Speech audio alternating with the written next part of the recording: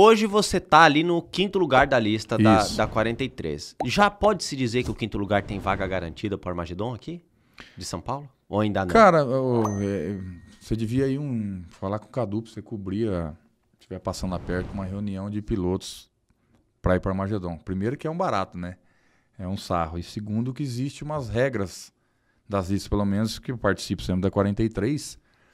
É, posição de lista uhum. tempo de carro, parceria em quem foi em Armagedon. Por exemplo, vou te dar um exemplo.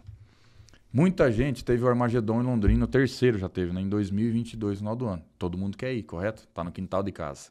Perfeito. Mas agora no Armagedon, no Velopark, existem empecilhos. Por quê? É longe, o gasto é maior, você leva equipe, é comida, é hotel. Então, assim, uns não vão. Então, os carros que tem um pouco, que é muito mais lento um pouco que a gente, se ofereceu para ir foram. Então é o seguinte, o Cadu leva muito em consideração isso aí, a parceria. Uhum. Então, campeão de Armagedon tem, tem, seus, tem suas vantagens, primeiro lugar. Então, assim, eu, eu não levo vantagem por ter sido um campeão, eu nunca deixei de ir. Uhum. Eu sempre tive presente e fui companheiro, entendeu? Para ir em Armagedon. Mas existe algumas regras que o Cadu fala, é que eu falei, é, colocação em lista, tempo do carro, parceria em outros Armagedon mais longe né? Uhum. Que o cara mesmo ali, que você vê que o cara tá ali por amor, às vezes não tem tanto dinheiro para estar tá investindo, vai Mas atrás de patrocínio. E... O cara vai lá, falou assim, eu tô atrás e pum, foi, se colocou. Então, às vezes, um monte que tinha condição de ir, carro mais rápido não foi e ele tava lá. Então, assim, eu acho muito justo isso que o Cadu faz na nossa lista, nunca deu uma confusão.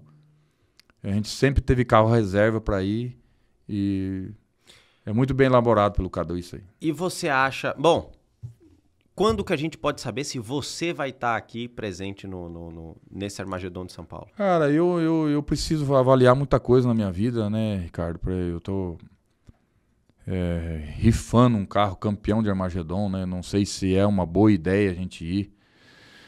Porque eu te digo, esse mesma configuração que estava aqui, que está nesse carro, eu fui para Armagedon no Velopark. Uhum. E eu só dei uma puxada no treino todos Armagedon que acabam, uma semana depois eles divulgam os 32 mais rápidos do Armagedon. São 128. E com uma puxada, a primeira no Velopark, tem a.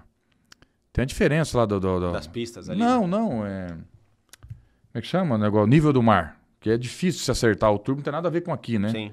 Tatu fez um mapa mais ou menos, era o primeiro. Você tinha oportunidade de treinar três, quatro vezes, como muita gente fez. Claro. Na sexta-feira. Eu dei apenas uma puxada, primeira, segunda, terceira. Quando eu pus a quarta, o bloco abriu e nós fizemos o 18 tempo. Então, assim, eu tinha um carro pelas parciais para brigar ali nas semifinais. É a mesma configuração do carro que estou hoje. Pelos tempos e pelas condições da pista, porque choveu muito depois, né? E o 4x4 ele se comporta muito nessa bagunça suja, entendeu? Uhum. E a gente, o que lá no começo eu sofri, a gente ganhou uma certa experiência em Armagedon. A gente criou uma casca grande ali. Então, assim, fazer o 18 tempo, passar 174 por hora, explodir o motor e passar no embalo, a gente tinha muito potencial para chegar para frente. Ver o que, que vai ser dessas rifas, perguntar para o público se eles querem me ver na pista, independente se estourar, o motor explodir, eu vou entregar o carro íntegro e vou entregar o cara que é o carro ou ele leva 217 mil. Mas avaliar se isso tudo vale a pena para nós, entendeu? Uhum. Se a lista 43 vai nos escolher também, tem tudo para a gente ir, né? Mas vou deixar mais para frente para decidir isso aí. Entendi, entendi. Bom,